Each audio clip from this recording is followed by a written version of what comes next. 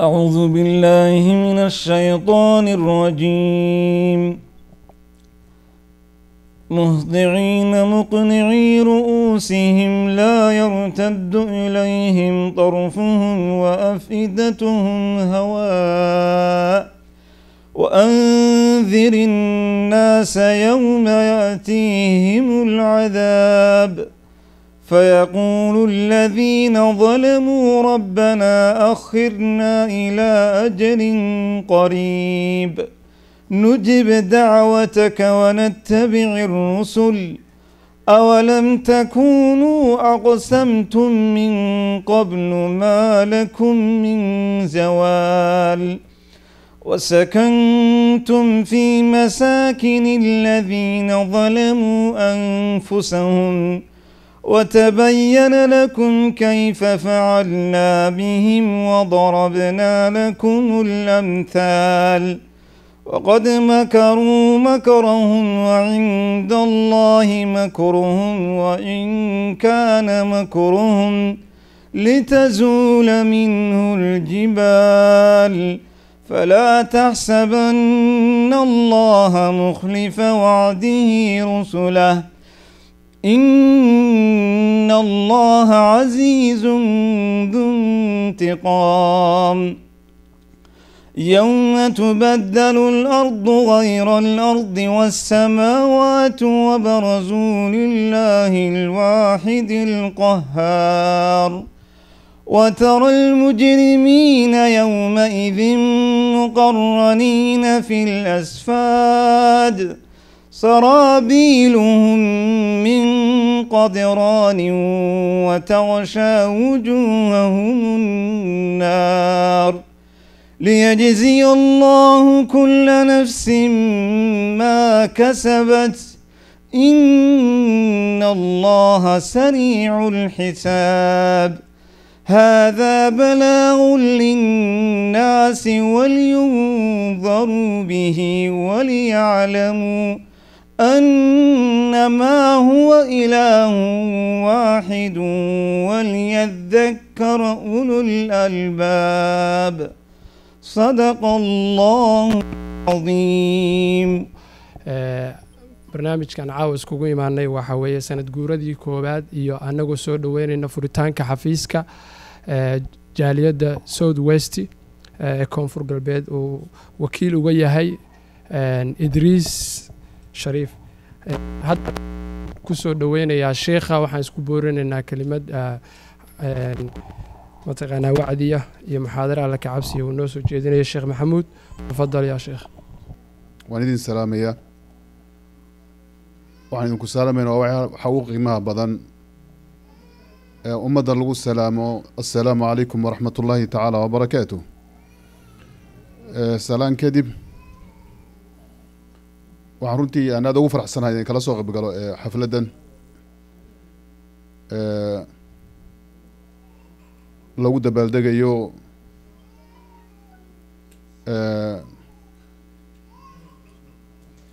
maamulkan koonfur galbeed ee soomaaliya sanad guuradii ka soo wareegtay ee sanadka ilaahayna waxaan uga rajaynayaa inuu sanadkan sanadkiisa kale uu ku gaarsiiyo barwaaqo iyo horumar iyo midnimo. Allah subxaanahu wa tacaala bini aadamka ciyaar ciyaar muusan u abuurin. Dhulkan iyo cirkan iyo allah subxaanahu wa tacaala marka uu leeyahay wamaa khalaqna asamaaa waalarda wamaa baynahumaa laacibiin maa khalaqnaahumaa ila bilxaq allah subxaanahu wa tacaala wuxuu leeyahay cirkan iyo dhulkan iyo inta u dhaxayso ciyaar umaana abuurin. Ahmiyadda aada u weyn bu alla subxaanahu wa tacaala uu iu abuuray.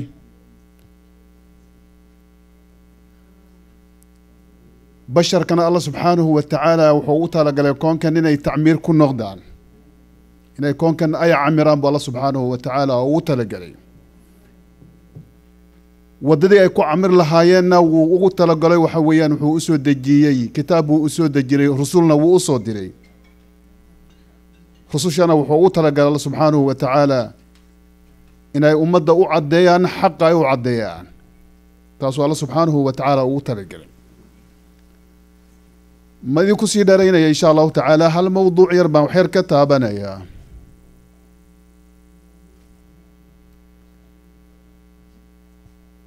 wuxuu nabi cala salaam uu leeyahay almu'min alqawiy khayru wa axabu ila allahi min almu'min aldaciif wa fi kuli khayr. Alla subxaanahu wa tacaala wuxuu jecel yahay qofka mu'minka ee qawiga ihi qofka mu'minka ee mufakirka ihi ama gabadha muslimadda ee mufakirada ihi ee waktigeedana iyo aanan ku luminaynin waxyaalaha maalaayacniga yihi. Waayo waktiga iyo taamka waa expensive wax kasta ayuu ka qaalisan yahay wax kasta ayuu ka qiimo badan yahay. Waa suurtagal inaad hesho waanta wax ku siiyo boqol dollar ku siiyo ama laba boqol oo dollar ku siiyo. Laakiin saacad kaa luntay qof ku siiya heli maysid. Markii marka acmaasha aad qabanayso iyo waxa aad qabanayso waa inaad ku aada u qabataa sida ugu saxsan waa inaad ku talagashaa ood ku fikirtaan aad u qabato.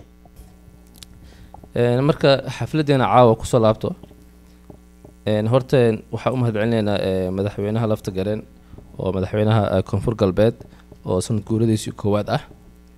Anakoo jaariyadda liverpool ah waan taageersannahay wax walba horumarka soomaali ah meel walba ay soomaali degan tahay horumarkeeda waa horumarkeena. Waxaan kaloo umahad waxaan kaloo oga diranaa meeshan sanad guuradii koowaad oo lafta gareen waxaan kaloo ku soo dhaweyneynaa cabdiriis walaalkeen oo magaaladan in badan joogay oo wax badanna ka qabtay raggii magaaladan horumarkeeda ka shaqeyn jiray nin aada u firfircoon oo ummadda wada jecel nin businessman ah oo leadershipkiisa maasha allah uu yahay nin mataqaana aamin ah nin wuxuu horumarka ummadda un ka shaqeeyo maantana xilkan oo loo dhiibay inaan mataqaanaa aan siino u mahad celin waxaan leenahay soo dhawow waxaa also mahad noogu jirto in loo doortay magaaladeena xafiiska wakiilka koonfur galbeed. Yacni waa arrin fiican waana soo dhaweyneynaa mar walba oo horumarkeena iyo iyo wax mas'uul ah. Magaaladeena loo keeno? Mas'uulkaas kulligeena kor saaran yahay. Cidiris keliya ma aha qof walba meeshan joogo mas'uul baa ka saaran. In lala shaqeeyo lagu taageero oo oo oo aadan laga caajisin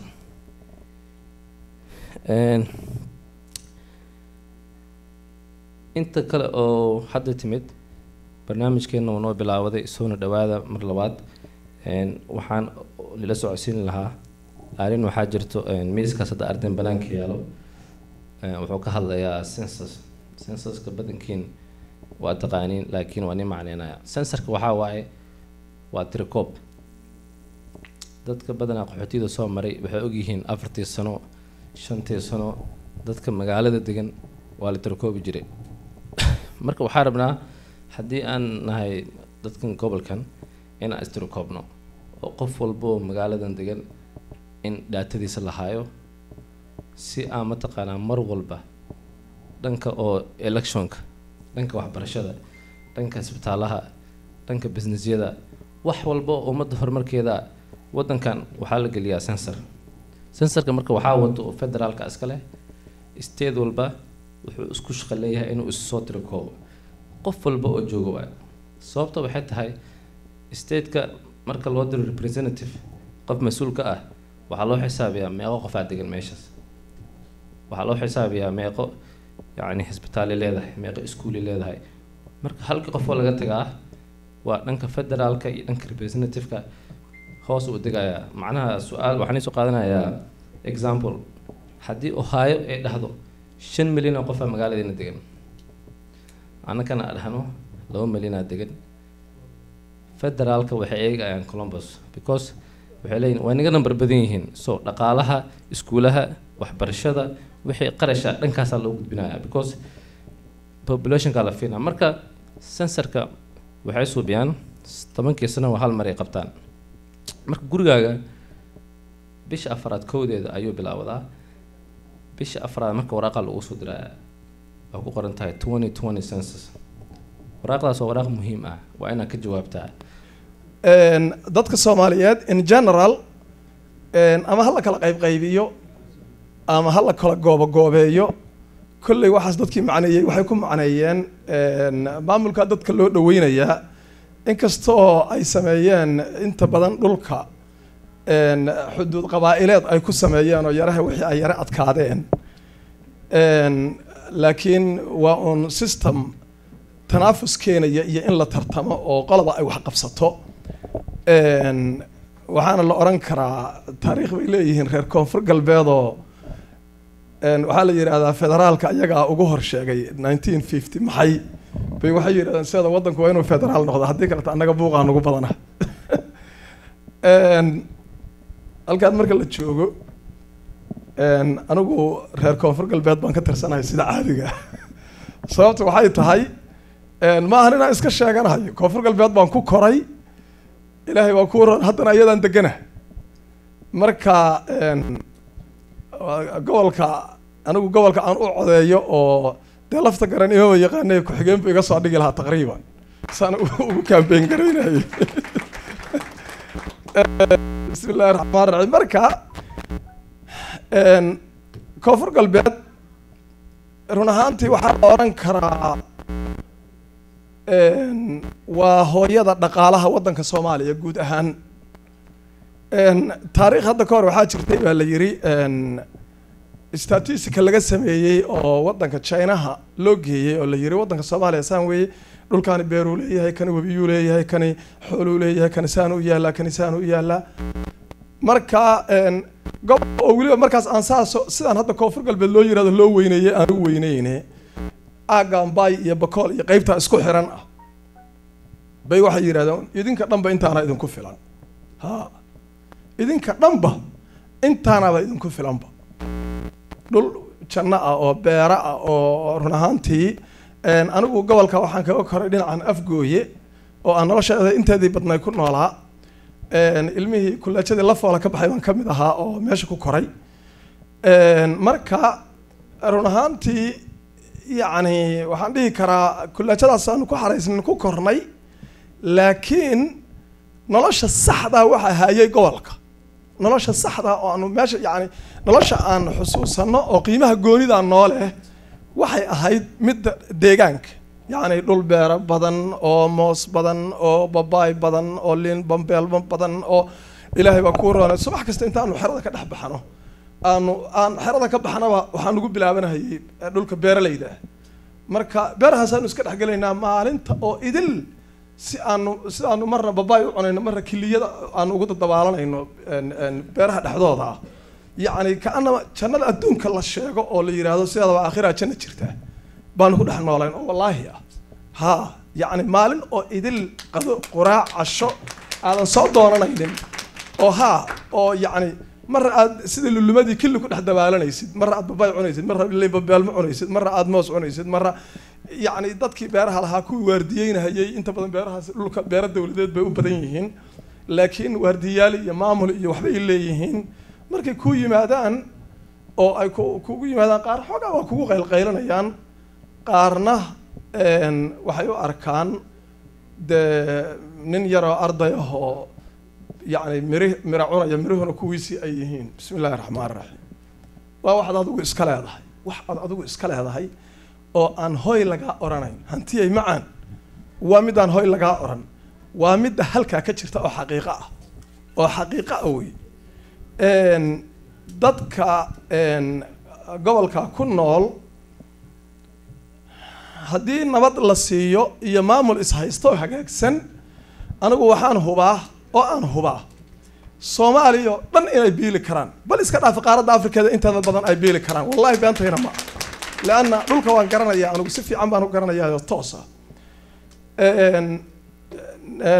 Lafta gareen iyo maamulkiisa halkan waxaan uga gudbinayaa fariin ah.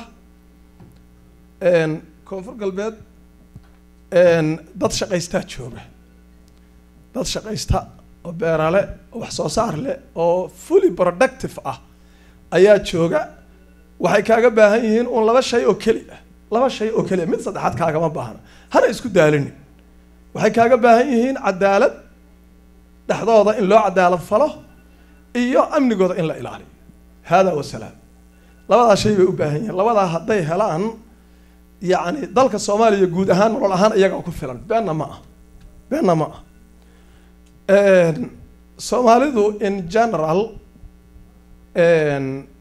waa wadan run ahaantii yaab leh. Anigu wadanka soomaaliya guud ahaantii waan maray waan ka shaqeeyey in badan baan ka shaqeeyey yacni wakti badmareen baan ahaa. Wakti dhulkaas waxaan beeralayda ahaan de ku dhex koray oon ku dhex barbaaray. Wakti ganacsadaan ka dhex noqday. Yacni waxyaalo badan baan wadanka ka dhex qabtay marka wadanka soomaaliya meel alla meesha aada istaagto waxaad is leedahay wadanka intaana ku filan. Waxaan tegey tuulo la yiraahdo madhawo madhawo waxay ku taallaa cirifka kenya xiga ee la yiraahdo kudhaabay ka soo horjeedaa waa jasiirad yara oo badda ku dhex jirta. Marka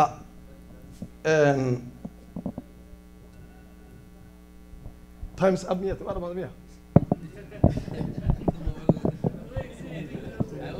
Wax yar ikaad wadanka xoogaa yar dadka bal horta fikir kama haystaan mogsoon tahay waxaan rabaa wax yar bal inaan u bidhaamiyo wallaahi. Sababtuna waxay tahay qofka beeralaydahi beeruhuu yaqaanaa kan ganacsatada ahi ganacsiguu yaqaanaa midka badmareenka ahi kalluunku iyo badduu yaqaanaa midba waxbuu yaqaanaa. Laakiin qof waxba idea ka haystaay ma badna dadka kuma badna. Tuuladaas ayaan tegay waktigii la isdagaalsanaa oo dadkao dhan ay iscayrsanay yacni dadka soomaalida waxaan idiin sheegayaa ukun hal hooyo wada dhashay weeyaan. Wallahi beenanaan idiin sheegay. Meeshu waxay leedahay bad weyn iyo khoor gudaha ku jira. Ninkii arkay baa arkay dhulkaas. Jasiiradii baan aniga iyo yar kaleeto intaanu anagoo dabagaabyo qabanaan ku dabaalanay. Waxaan jasiiraddii inta ka dabaalanay badweynta u dabaalanay. Marka markabkii oo meel fog naga joogay baa intuu jiitay baroorsinka jiitay buu merqay waa naga fogaaday waanu gaari kari weynay waananu la hadli kari weynay. Dabagaabyaan qabnaa niman dhalinyaro ahaan nahay ilaahay baa ku oran si waxaan samaynaan garan weynay dhulkii waa naga kala xirmay. Habeenkiibaa meesha noogu dhacay badda badda jirjirkeeda meel. Meel jasiiradda dhexdeeda ah oo oo corner ah yaa waxaan ugu nimid wiil yaroo libaaxley ah dhalinyarada libaaxa dabata baan ugu nimid. Waan iska ag farfariisanay garamaanka qabnaa iyo dabagaabyo yar yara waa cagacadna maantana maanaan qadaynin. Oo barqadii baan ka soo dabaalanay markabkii. Caawana waa cashadii. Salaadii duhurka maanaan tukan casarkii maanaan tukan maqribkii maanaan tukan. Cishihii baa la joogaa. Dabagaabyaa qabnaa xaaladda waa nagu xunta. Nin oday ah addoon ka soo degay oo khoorka inta soo karoosgareeya dhinaca kudhaa ka yimid qori aa ka ahoo dabalaaba wata. Booshna u xiran yahay da-diisana aan ku qiyaasay over seventy five years old. Aada u da-weyn ninkii wuxuu dhahay ninkii kaleeto ninkii meesha joogay wuxuu yidhi nimankan maxay yihiin? Markaasu wuxuu yidhi waa nimanka kalluumaysatada ah oo markabkaa saarnaa. Bes namuusan weydiin yaa tihiin. Been idinma sheegiyo waana waqtiga la istagaa qof walba qofka kale u dilay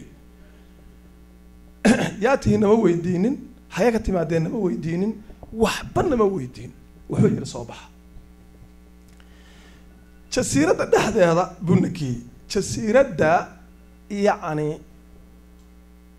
waa meel la dhihi karo adduunkao dhan baa dalxiiskiisa laga dhisi karaa. Waxa qurux meeshaas ilaahay siiyey ma malayn kartid. Ha waxaa la yihahdaa madhow barasho wanaagsan.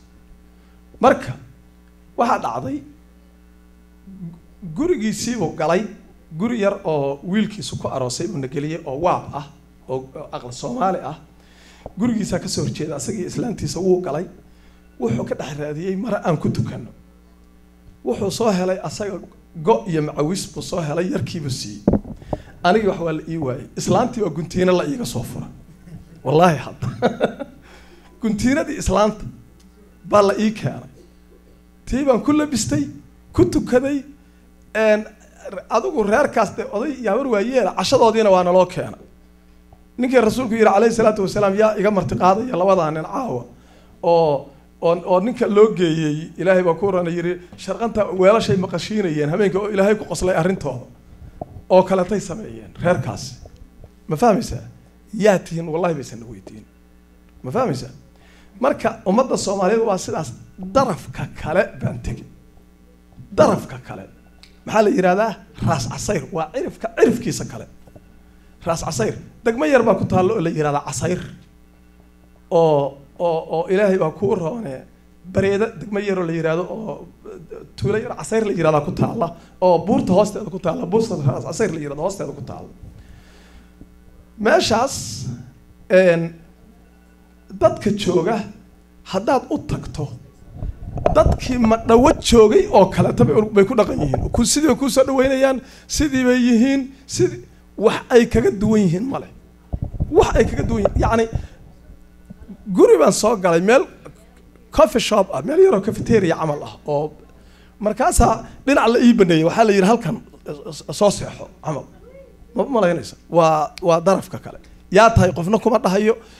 Waddanka soomaaliya markii wax la qaybsanayo oo la leeyahay aniga jagadaanaan rabaa ana tanaan rabaa ba qabyaaladu soo baxdaa. Laakiin marka dadku wada nool yahay u kala shaqaysanayo oo isdhex marayo ila waa walaal absolutely meel walbo ay joogaan. Marka baydhaba ha noogu horeysa dhinaca dhaqaalahana. Soomaaliya waabad iska garanaysaan dee haddii soomaaliya oo dhan la yidhaahdo beeraha ku noolaato is enough. Waa ka badanta.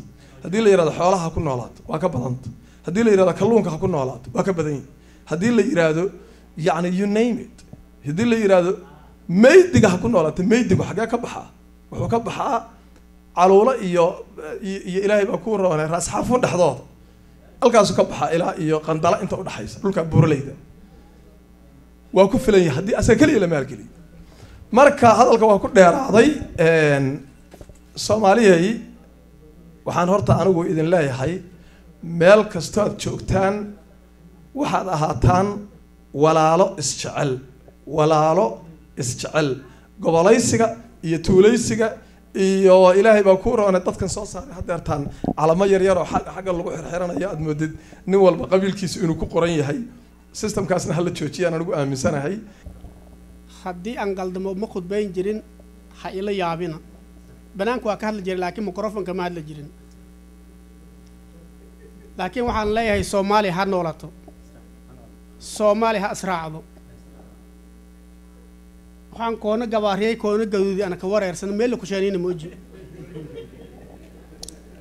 ana kanga kase. Kanga kase. Kangna mayan kase. Shanta soomaali waay shanta soomaali saddeexna aaminsani sadde huraag sadde xur waay lamana gumaysi ka jirta. Jabuuti hargeysa koonfur saddexdaas xur waay n f d lixda gobol n f d oo kenya gumaysanayso kibilka shanaad oo etoobiya gumaysanaysa intaasna maartay gumaysiga ku jiraan oo calankaa sheegaya waxaan gabaaran yaa noo keenay. Idinka ma keenin anigana ma keenin. Laakiin waxaa la yidhi hal qof oo saddex walaad ka kooban saddex lagumala heshiiyo. Nin orod iyo socod labaduba isku mid ay yihiin jid lagulama heshiiyo oo ma gaari kartid. Ninka haddii run iyo been mid ay u tahayna hadal lagulama heshiiyo. Waa waxa hadda kuwaa noo sameeyay xalaal iyo xaaraan ninka hadday isku mid yihiin haddana hunguro lagulama heshiiyo. Kuwa calankan ga gabaariyey waay. Maxay uga gabaariyeen?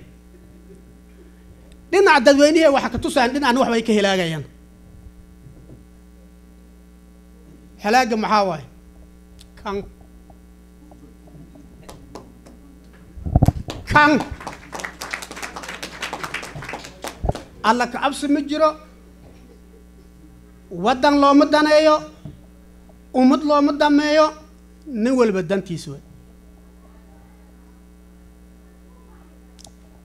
Anaga reer luuful haddaan nahayna sideenaba waaba la hurdaanba jareer jalaa waaba la hurdaabo. Ummadda banaanbaxay sameeyaan waxbay sameeyaan annaga wax aan sameeyna ma jirto. Nin nagula tallahayna ma laha. Maxaa nagu dhacay gobolka adoon waxba karinin laga dhergaayo adoon dab shidin laga dhergaayo annagaa iskale ka soo bilaabo boqolku keen kismaayo. Waa baxaysa adoo dhergan aa imaanaysaa wixii ay ahaa jeebaa lagu ritay. Horta martida anta ka soo martida anta ka soo qiib gashay waxaa idin leeyahay waa mahadsantihiin.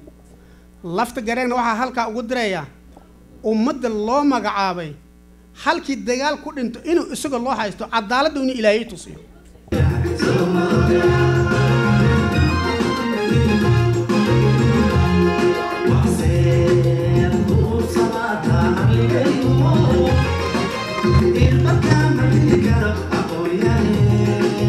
Udubkiyo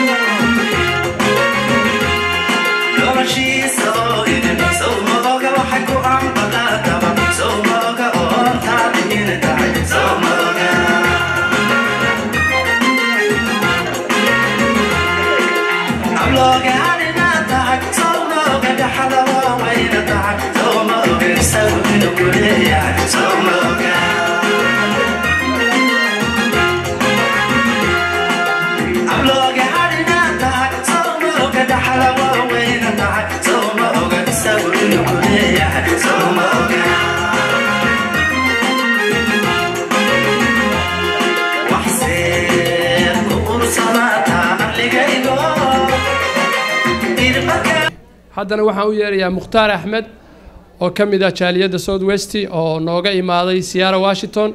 Waxaan leeyahay walaalkeen welcome mukhtaar.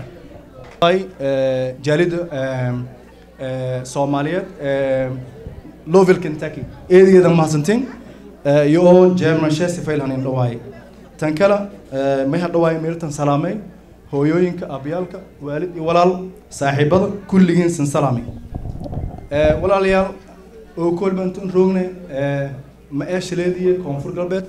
Weliba aan roogne dhammaan eh, midnimada soomaali dhammaantiye sababtoo eh koonfur galbeed weliba matalaase midnimada jiritaanka soomaali. Mayba eed iyo eedan ka faraxsana intii ha kala qeyb gala dhammaan ummadun oo sharafta leh meel roogta Eh, tan kale sanad ka hor weliba maleeyay meelita antii wan wad fadheenin Eh, oo jaaliyadda koonfur galbeed haatoy soomaali oo dhan haatoy intii arageen wal wadanka weli sheegan kadhigan taasoo hayti doorasho oo lahaadan madaxweyne koonfur galbeed ee, taas meelo may ka saartay doorashadii madaxweyne cabdiis cabdicasiis lafta gareen oo sababtay intii la dhiso dowlad dadse leeyin waana dowlad lamdhoon intii la dhisay Ee, taasoo oo la helay si aan umalayo shaqaaqo maadaama yar jartay intii aan inkarme ah oo dad dibadoo roogan iyo dad oo mucaarad ah oo aan ogolayna nabadda iyo jiritaan koonfur galbeed intii aasaasin iyo dad oo muwaadin oo oo yoona ee, lahaayeen legitimate reason oo iyo kuma daharaaday inta jiran iyo taas laaha gudubi koonfur galbeed geeka may ka tilaabsatay dowlad yeelato ee, may la waa la ku bedelan walaagii hor oo haayeen hal qof oo walwalba ah oo hayti wasiirka arrimaha gudaha hayti wasiirka maaliyadda intii hal qof hay may la helay dowlad oo le laamas kala duwan go'aamadii iyo maseersha iyo kataladaas onoo taas og iyo haddana mayba la suubiyey wadahadal dhabe dibashiisiin oo dadka koonfur galbeed dhatiya lagu suubi intii wada hadlaan wada heliyaan walaaga dhi iyo wada hadlaan. Inkastoo weli isku jiraan dad oo koonfur galbeed inin dhalan intii iyo ka qaraabadaaya oo mar walba leeyin walixunba koonfur galbeeda leh. Walixunba maamul koonfur galbeeda lankaseede wali walsi walweel koonfur galbeeda lankaseede iyo taas inka dan leh intii dadka shal qiibiyan mayna meyle ka caddaayay reer koonfur galbeed taladan ha gudbeen qayb iyo xukun marka horay hayt walaasay hadda may la marahaya maamul wanaag intii dadka dhan suubiyaan sababtoo eh dadka wadanka gudaashay rogan khaasatan. Intii uga gudubeen maskaxdii xamarlaan ku as-aasi oo hayti intii koonfur galbeed nabad innagan isdilan isxabadeeyaan isdhammaayaan alxamdulilah taas ma haddii leh madaxweynaha iyo maamulka is aasaasi iyo wasiiradiis iyo dowladda federaalka oo gacan weyn ku jeestay intaasa ma hadda leh waliba kuwiina reer koonfur galbeed oo fahmeen aayasho danti ontinka jarna arbushaad shaqaaqa dagaal amni doro dhaxaw hatan micnaha antiyo ku taladeen taasay naftishaan aan dhihin waliba dowladda ka ammaanantaa ee intii gudubtii dubashiisiinka ka bacda intii dadka inas sheenta reer koonfur galbeed geeka halmeel ha ku wada jeesadaan may basin sheegay oo santusaase madaxweynaha koonfur galbeed hal eray is eray. Intii dadkii dhibkanay la wadeen ka qayleen meelooba ka hadaleen geeka reer koonfur galbeed meelooba la ka haysan taasayna bedelshee midayti aragtidii fikradii shal duwanaayeen reer koonfur galbeed haadeen mas'uuliyiintii haadeen shacabsho haadeen oo geek hal meel lahan ku wada jeesadii waliba cadow ahaan lan aragay tan kale mayba laku guulaysaday intii la suubiyo wakiil koonfur galbeed america oo la ogi la kasaw lan sharaf oo muddana ka dhex muuqdanti hay mayba eed iyo eed waanan ka faraxsanaa. Lankaas intii laha kuweli lan saaxiibkay oo lilaahi idriis shariif cali ay magacaaway laakiin weliba la yaabanayay sababta laka doorday lankaas may laka doorday reer lowfula markhaati kana yo sheegeen si anag malayo reer luuflow ninaan garanayn idriis shariif cali ma jiraan. Taas markhaati waxay u tahay inuu yahay muxtaram laga yaqaano ummadda dhexdeeda. ee dadka dhoon kasaaya reer koonfur galbeed kasaaya soomaali weyn kasaas lankaasi oo lan shaksi nololis intii magaalada sunkooy intii ha ka shaqeeyay ummadda inas sheenooshe waxtarshe wada qobsashadaya midnimada guud ahaan soomaali dhan. Waliba sheegfaday taariikh yar. Lankaas oo hata wakiilka laha magacaabay oo geew dabaaldegahayna ka muhiimsan. Anigu is wali kulungnay magaaladan aan oo si hayraadi wada fadheenay. Waliba aan malay walbadan iska fahmay walna iska fahmi wayni wala una kuwadadaan lima haytay intii soomaali wal dhan la suubi magaaladan wal oo reer koonfur galbeedna ka mid ayin oo talada ka mid nagdaaya jiritaansho midnimadii oo la suubiya oo magaalada dadka una dhex deganana ka badbaadana oo waan la xisaabtamo kor maadaama muwaadin oo stateka unena iyo magaalo dadka degan idris go'aankii ka bacda walbadan wada galnay walbadan iska khilaafnay. Khilaafka yar mahayn laakiin mayba ogaadasana lan qadiyad leh sharaf leh intii ay khilaafkii hogudubni heliyni saaxiibinagani ilaa geeka magaalada gudaasheeda laka ixtiraamahay ixtiraamnimada makukoyno intii walla kuweeli weliba kukoytay waa businessman. He's a father. He's an intellectual. Lan walkasaw walbardi ummado ka dhex jira nololis siyi si ummadana iska sheenan lahay bulshada soomaali o dhan ka dhex shaqeey midnimadiya taasi weliba kumid ee micnaha daliilin eh hadalka oo gudoomiyaha ee soomaaliyeed ee ee kentucky ka hadlay idris sharif cali waltarshay iyo walqubad shay mayba ku faa'iiday soomaali dhan. Reer koonfur galbeed khaasatan yoona ka faa'iiday la magaalada louisville eed iyo lanka ixtiraamo waay. Lan city officials state officials lan geeka micnaha soomaali arrimooshe laakiin xiriiro way lan waliba wadanka walbadan kordhi. Lan intii usa shaqaysaday dad shaqaaleey shaqaale leh company le way taas ku sokow waliba ina sheenay reer koonfur galbeed meelool biyo roogan mayd dhiiday intii lawada xiriiro lawada hadal. Lan walba geeka u sahantoonlow tala iyo waayo aragnimadiis. Walay ummad dhatiye micnaha horumarintii haatoy dali dibad busu ka baarkay. Idris sharif cali lan hami maalhan teeganaayo mideynta jaaliyadda koonfur galbeed iyo jaaliyadda soomaaliya oo degan kentucky gobol ahaan idris sharif cali weliba ummadda reer kentucky iyo reer louisville hooliyo ka jaray. Muddo siyeed sano ka badan. Muddo siyeed sano ka badan yahaan shaqeey walow saaqood wada kama eh hooyooyinkii ciyaarashoo la shal saaray oo ziiteel ku tuuri. Dadka oo isfureen oo idool iska buri. Dadka homelesska la kuwaali dadka xaabiistada hooluu saaqobadii hooloo geeg aan hataa kooba kormeen.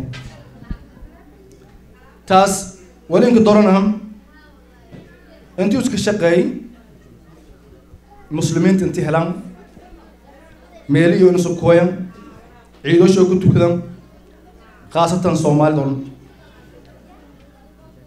idris sharif cali wakiilka talaa magacaabay waa lanka geeka aan umalayo lanka ku haboontiin jaran sababto aqoontis iyo khibradis intii u sahmaray Mason sheegay magaalada Louisville is a great city, the greatest of the greatest. The home of the greatest ever, Muhammad Ali. waa the home of Idris Sharif Ali oo geeka wakiilka magaalada Kanagada. reer Louisville weliba ka ammaanayana midnimada iswalaashashada isgarab qabashada iyo deerin taasi oo aas-aashe idris sharif cali lahay inkastoo aan xaqiraan dad badanaa kala shaqeeyan dad badan oo introgan weliba siin xaqiijiye idris sharif cali dadkii in korayay program oo leeraw welcome refugees dadkii ka bilaabantiyay aniyus iyo dadkii farxaan iyo nuur nuur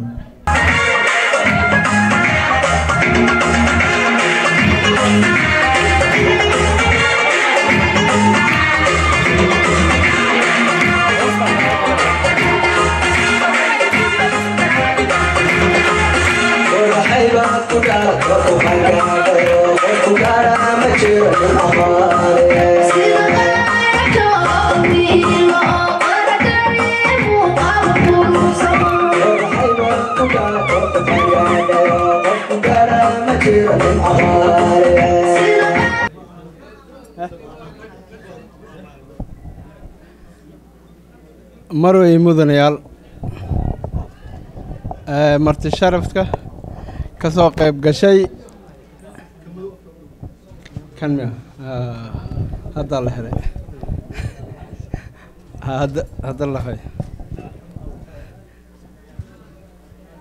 marwey mudanayaal dhammaantiina dadka ka soo qayb galay xafladdan sanad guuradii madaxweynaha lafta gareen cabdicasiis lafta gareen iyo sanad guurada xafiiska oo jaaliyadda south west jaaliyadda south west xafiiskeeda iyo guddoomiyaha south west dhammaantiin waxaan leenahay eh, soo dhowaada waan soo dhoweyneynaa ilaa imarti sharafka. Dhammaantiinaba annagoo ku hadlayna jaaliyadda koonfur galbeed Eh, walaalayaal horta soo dhowaada. Adduunyadana arkaysaan waxay u baahan tahay midnimo horumar iyo waxay u baahan tahay in ummad kasta oo taagan inay ka shaqayso midnimadeeda. Marka mar haddii midnimada laga shaqaynayana waxay u baahan tahay eh, caqli iyo in la isu kaashado iyo dadka waxgaradka ah in lala kaashado. Waayo eh, sideedaba ummaddan oo muslimiinta ah waxa ay leeyihiin wax ay asalkooda oo u yahay in ay u naqdaan oo ah in diinta islaamka ay ku dhaqmaan. Mar haddayba meeshaas ay u baxaanna insha allah waxay noqon doonaan dad diintoodii iyo waxoodii u horumarsan. Teeda kale waxaan rabaa inaan wax sanad guuradan aan u hambalyeeyo madaxweynaheena south west waxaan leeyahay madaxweyne sanadkan sanadkiisa barwaaqo ku gaar sanadkan sanadkiisa waxaan rabnaa saansan ka fiican hadda sida aa waddo inaad sii laba laabto oo juhdi badanna aa geliso si ay ummaddan ay u horumarto si ay ummaddan ay u noqoto mid ay ay ku baraaro oo horumar fiicanna ay ku gaarto. Teeda kale waxaan kaloo leeyahay guddoomiyaha la soo magacaabay ee jaaliyadda loo soo magacaabay south west. Waxaan leeyahay adigana insha allah dardar geli shaqadaada. Ummaddaanna waxay sugaysaa inaad isku xirto inaad horumariso inaa sidii wixii lagu soo doortay inaad falkeedii adigana aada suubiso insha allah waxaa kaloo aan kulligiina aan leeyahay jaaliyadda south west meel kasta ay joogaanna insha allah waxaan u rajeynayaa guul iyo gobonnimo asalaamu calaykum waraxmatullah salaamantiin dhammaan jaaliyadda reer louisville kentucky. Eh, magacay waliba le reer ibrahim alijiir Eh, waliba faday inaan eh, meelaan ku hambaliyeeya sanad guuradii koowaad madaxweynaga eh, koonfur galbeed mudane cabdicasiis maxamed xasan laftagareen iyo wali kaloo faday inaan eh, meelaan ku hambaliyeeyo wakiilka eh, jaaliyadda eh, north america usahan magacaawdi idris shariif cali usuun intaan ku hambalyay maasha allah wali kaloo faday inaanan hambaliyeeya oo dadka badanaaba ku tabeen owka sanad guuradii toddobaatan i ciidanka booliska soomaaliyeed yayoonan hambaliyeeye kun sagaal boqol afartii sideedii la asaasay Eh, may kaloo faday eh, inaan meelan mayl raayis dardaariyar on ku dira madaxweynaha maamulka koonfur galbeed eh, madaxweyne shacabka ka taageersanyin eh, waliba jeelnaa iniyada nagata lanka koonfur galbeed horumar deersiin lahaay dekadooja dhisan lahaay eh, walaanka muhiimsanoo reer koonfur galbeed iyo baahanyihin geeka waliba ah iniyoo helan eh, wadda iyo maran maadaama dadkan reer koonfur galbeed iyo onlahayna dekad caalamiya iyo onlahayna eh, waliba jeelnaa inaad mayl raayitaanyadaha ita ka shaqeyta dowladda federaalkana ada unku codsana ciidan wal difaaca unku codsanee hubku codsata maweelay shacabka reer koonfur galbeed dadkan ka tira badan soomaaliya iniyo in yalla qiyaase. Marka waliba jeelnaa inaad mayl raayis dadkii ahay shaqa geliida ciidanka qorota eh, volunteer la ka shaqeeya lan walba diyaaro degmooyinkan goboladan walaanshal hirin walan dulqaado koromee marka waliba jeelnaa reer koonfur galbeed hoo buuneyna inuuna mayle raayis horumarkana la shaqeyna maamulka la shaqeyna deegaanada lala shaqeeya. Eh, may kaloo caqabada hoo reer koonfur galbeed haysada geeka ana 2018kiya mayle raayis bay dhowseedi eh, wala dadkaana haysada waliba oo eediyeedan dhib badanu diyaarada lana iska gudube. Haddii geeka degmooyinkii tuulooyinkii diyaarad nagata diyaaradayo haay reer koonfur galbeed male most of them. Sidii on badanyin meelyada hayti dhaqaalo badan oo ka dhumahaaya dhaqaalagan oo ka dhumahaya waliba eyaa diyaaradayo hayti waliba waa nairobi lah ku kiraysadahay marka waliba jeelnaa reer koonfur galbeed hoobunena at least haddii diyaaradayo hayti mayla raayaysa beesidii oo kenyatiin qaadane dadka reer koonfur galbeed yo ha kiraysadana jeelna mawaali hata agensiyi mayla raayaysa lanfurudi un waliba leyba ena markan agensiyi marka waliba jeelnaa reer koonfur galbeed dhaqaalajo iniyo mayla raayaysa helan. Maadaama dadkan dekadan lahayna meel kale wala ku galayaan lahayna beero roobley la sugow marka waliba jeelnaa reer koonfur galbeed dhaqaalajay ini laka shaqeeya taasana mayla raayaysa horumar nagadaasa. Dadkan waliba diirayaan horumara diirayaan maamul dadyay dhowr milyan eyna waana dekadan lahayna dhibsheelata oo wadooyin soo hirin. Marka eed mayla raayo arrintiyaada ay takiin ku codsadaana. Waana eedaan jeelna ini maamulka walla taabado koro isuku qobada may waali madi dekeda xamar lahaa kacanshuuro reer koonfur galbeed. Isbaarooyin badana jidka yaalan isbaarooyinkii hatana la kacanshuurahay marka shacabka kii kaw dadka mayla raayo dhibaatoodahay marka waliba jeelnaa inaada mayla raayo canshuuran oo dhabalka eh dadka lagu qaadaw ada ku danqata waana ka dadaala unuuna kii kala shaqayn haddii ilaahay karaala nagada. Waxaan salaan iyo gobaabin u soo jeedinayaa dadka isugu yimid dadka isugu yimid xafladdan qiimaha badan ee lagu xusayo dabla maaska laynooga soo magacaabay koonfur galbeed soomaaliya. Aan rajaynayana inuu yahay mid ina anfici doono caam ahaanteenba. Intaas haddii aan ka gudbo waxaan si caama u salaamayaa dhammaan bulshada soomaaliyeed soomaaliya ha joogto adduunka daafiisa ha joogto. Si khaasa waxaan u salaamayaa bulshada koonfur galbeed ee aan maanta xafladdeeda u joogno. Xafiiska dawla maaskaan wada leenahayna ka furatay meesha. Waxaan si khaasa u salaamayaa madaxweyne cabdi cabdi cabdi cabdicasiis maxamed lafta gareen oo ah nin sida maaragtay hadda dadku meel buu ku wada fadhiyaa. Nin adag lagu sheegay ahna nin wadani oo soomaaliya aad iyo si qiimo badan u shaqeeya. Lagagana mahad sheegto waddanka dhexdiisa. Waxaan si khaasa u salaamayaa marti sharafta nooga timid gobollada daafahooda iyo kuwa xaafadaheenna ka yimidba. Waxaan si khaasa u salaamayaa dabal maaska wanaagsan ee laynoo magacaabay iyo dhammaan odayaashii meesha ka hadlay iyo abwaankii fannaanka ahaa ee inoo qaaday heesta waddaniga ah ee soomaalinimadu ay ku dheehan tahay. Marka dhulkaygow dhulkaygow bay ahayd. Marka aan sidaa leeyahay dee anigu dadkii hore ee midnimadaan ka joogaa. Dadkii hore ee midnimada yaan ka joogaa. Waxaan u soo shaqeeyey dowladdii militariga ahayd ee soomaaliyadda keligeed aynu lahayn. Waxaan u soo shaqeeyey xisbigii hanti wadaagga ahaa oo markis iyo liilin ku abtirsan jiray. Ilaahay cilmigiisa dee dowlad aan dhadhaminno inaga dhacday bay ahayd. Markaan arka markaa midnimada waanu qiiroodaa ninkaas si khaasaa baan u salaamayaa isagana allaha caawiyo.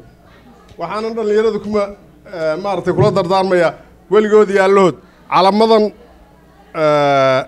yaryar aniga waxay leeyihiinuun dee jidhkayga oo kolba dhinac laga yargoynayo inay midnimada u dadaalaan oy midnimadooda ilaashadaan oy soomaalinimadooda ilaashadaan. Hadhba hoos lebaa hadhba hadal le baa la yidhi. Gobolaysigu waa wax la ysla gartay waana fiican yahay. Waa ha ku soo xasisho. Laakiin yayna moodin in lagu kala guuray. Asalaamu calaykum waraxmat ullaahi wabarakaatu inta wayba ku salaamay dhammaan reer louisville kentucky sada sharaftalan indhow aytan eedyadasin salaame bacda salaan maay sidatlasa sheegay maxamed aamiya ahaa xoghayaha jaaliyadda koonfur galbeed soomaaliya north america ahaa laakiin sidata waa kan nin sheegay waa kan wakiilka haruun sinin sheegay I'm sorry wakiilka idris sorry idris inin sheegi way balin baahanya mideen jaariidun oo digilin birflo ama south west way balin baahaya mideenin baahayi mideyntaas wayba wayba wayba muhiim ata sidii jaariidun niskira ma fadhi jaariidun koonfur galbeed soomaaliya north america si niskira ma fadhi taas eedyada muhiim ata. Marka waan hatar waa tilaabadii ku horeyti qaadi oo dad ha magacaawi waan taas hadhawaayana taas inti wal tilaabo faylan oo horlen qaadi intee tag maleena ta kale wayba waata dhowr qof hata hadali ku hadali oo sheegasi hata dheegaseen wadanka gobol gobolka kheyraad badan wayba degeen reer koonfur galbeed waayo reer koonfur galbeed gobolka shaleediis soomaali dhan hoo degta kanooda korta waayo taas atunan way banagnay dameer malab lakroorihaan ma ku faa'iidaystaan. Way bal imbaahiya marka faa'iido inta ku faa'iidaysana marka reer koonfur galbeed hoo ena iska duubanaana halnagana fartooshaleedii nagana way bal imbaahiya inti wada shaqeyna meelaan wada jeysana marka taasa muhiim ah hatana wayba wayba walyarafadi hata horteelan eri wayba eed ahayn handhawaayay marka maylaraay midnimada hata ka baaqi wakiilka maylaraay wakiil idris idris shariif eed iyada handhawaayana maylaraay waana wayba lana weli dad intuunku badan yaan baahanaha ka darsamaan oo lana islana aaminsana inti waana dhabay ku dhabay doona insha allah wakiilka jaaliyadda koonfur galbeed ee north america cuqaasha ganacsatada dhallinyarada haweenka saxaafadda iyo dhammaan marti sharafta meelo magaalooyinka shalduwanka koyti wayba siin lahaa. Assalaamu calaykum waraxmatullaahi wabarakaatu. Salaan kabacdi anoo ka hadalow marti sharafta ku magaalooyinka shalduwan wayba faday intii ana mahad ballaaran anjeedii guddigii qabanqaabiyey hoolun quruxda badan oo may leeraayso magaalada dhonkoyt way kaloo aan mahadnagay dhammaan shacabka ku nool reer louville oo may leeraayso xafladun si qiimo leh oo sharaf leh aan ka qeybgalay isiin waysiin lahaa mahadsanideen intaas kabacdi meelon waybayna isku koynay sanad guurudii madaxweynaha koonfur galbeed cabdicasiis xasan maxamed laftigaran mudane madaxweyne wayba ka lahaa hambalyo hambalyo marlamad way kaloo mayleeraayso intanka hambalyeeyey walaalkay idriis shariif cali oo uusanagdii wakiilka koonfur galbeed ee north america. Taas naftiya waysiin waybaan ka mahadyaana madaxweynaha madaxweynaha inius smart iyo waking idaayase wayba noo dhex dooraday haldoorkii idriis shariif cali. Waana wayba waa lanhoolunha ka baha doona. Si sharafle ay qiimo lana usiina insha allah andaadihii doona saasa jira. Tan kale wayba faday iniyan anta kala hadla shacabka koonfur galbeed. Shacabka koonfur galbeed waxaan ka raali gelinayaa qofkaan luuqadayda fahmaynin qeybtan dambena waan ku dari doonaa insha allah wayba faday inaan antan kala hadala shacabka koonfur galbeed meel walbo iyo ku noolyiin wayba lahaa way helena madaxweyne daacad ah howlkar ah ammaano leh deeqsi ah wayba siinka codsaday inaysiin la shaqaytan maamul shay wasiiradiis madaxdiis iyo dhammaan insha allah. Taas wayba dardaarangataa madaxda koonfur galbeed iyo shacabsho wali dhamara faday way kaloo meelun faday inaana kala hadala madaxweynaha koonfur galbeed cabdicasiis xasan maxamed laftigareen shacabka koonfur galbeed kiinbaahayin dal iyo dibid iniyaad walkalo qabata dhowr waxyaabaado iyo qalbiga ka haayaan. Kow may ka mid ah amniga. Wayba lan baahanyaa amni waarow. Oo may la eraayso shacabka ha ka bahaayaan magaalada baydhabo ama bokool ama may la eraa all the way down to luuq xuduudda le-e ama xoog wayba la faday iniya magaalada muqdisho xeebooshe jasiira iyo baraawo dhulkaas dalxiiska seedan laakiinse ka suurtagalaas amni inii la hela. Marka walba amnigan ka horreeya tan kale may la eraayso caafimaadna muhiim waayo. Bulshada koonfur galbeed way baan baahan yihiin caafimaad may la eraayso qofkii dhaawac naqda ama qofkii xanuunsada. Xamarlan la rooro mafaylan wayba keeray madaxweyne. Isbitaalada magaalooyinka gobollada kiyaalan iniyada hormariyada isbitaalo tayada laga dhig. Marka insha allah taasaas ere way kaloo ka darsaday waxbarashada. Arintun iyada muhiimangata wayna jeela inay madaxweynaha dhuginsado waxbarashada dowladda federaalka soomaaliya ah, qaybtun wayba jeela inaan anbedela luuqada afka maxaa? Ya afka maxaa? Soomaaliya waa labaduba way yihiin. Marka waxaan rabaa halkan inaan kula dardaarmo ah, aan ka hadlo qaybta waxbarashada ee soomaaliya. Maalin dhexdaas wasaaradda waxbarashada dowladda federaalka waxay soo diyaarisay manhaj oo loogu talagalay in iskuulada laga dhigo waxaan dhihi lahaa wasaaradda waxbarashada soomaaliya shacabka soomaaliyeed waxay ku hadlaan laba luuqadood luuqadda maayiga iyo maxaatiriga. Haddaanay manhajku ku qornayn labadaas luuqadood waxay noqonaysaa in bulshadan ay jirto nabsi laga galay ama maxaa la luuqadoodii la inkiray. Marka halkaas waxaan fariintan u gudbinayaa wasaaradda waxbarashada ee dowladda federaalka. Waxaan leeyahay si bulshada soomaaliyeed ay u noqdaan ah, wax ay wada leeyihiin in manhajka lagu qoro labada luuqadood ee soomaaliya maay iyo maxaa. Waxaan kaloo leeyahay shacabka ku nool koonfur galbeed in ayagana ay dadaalaan waxbarashada xoogga saaraan caafimaadkan insha allah isbitaaladana la qalabeeyo oo si fiican loogu taxadiro mudane madaxweyne waxaan kaloo rabaa inaan kuu sheego dhallinyarada waxay u baahan yihiin shaqo abuur. In shaqo loo abuuro sidaas daraaddeed waxaan kaa codsanaynaa inaad shaqo abuur u samaysid dhallinyarada meel walba ay kaga nool yihiin koonfur galbeed. Waxaan kaloo ku darsanayaa waqtiga ay ku dheeraada umalayni raalli ahaada guddiga doorashada madaxa bannaan dowladda federaalka. Guddigaas waxaan leeyahay waxaad tihiin guddi soomaali oo dhan andhaha ku hayso dal iyo dibad. Waxaad qaban doontiinna loo la arki rabo hadba qaabka ay u dhacaan.